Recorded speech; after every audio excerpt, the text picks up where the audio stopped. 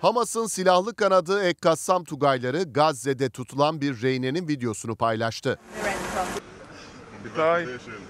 Zaman daralıyor etiketiyle yayınlanan video, İsrail ordusunda görev yaparken Kassam Tugayları tarafından kaçırılan 19 yaşındaki İdan Alexander'a ait.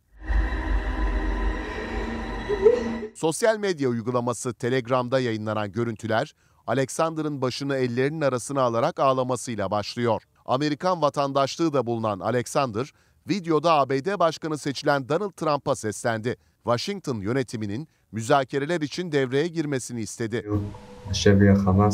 Sevgili Başkan Trump, benim adım İdan Alexander. Şu anda Gazze'de rehin tutulan bir Amerikan ve İsrail vatandaşıyım. Bir Amerikalı olarak her zaman ABD'nin gücüne inandım ve şimdi mesajımı gönderiyorum. Nüfuzunuzu ve ABD'nin tüm gücünü kullanın ve özgürlüğümüz için müzakere edin.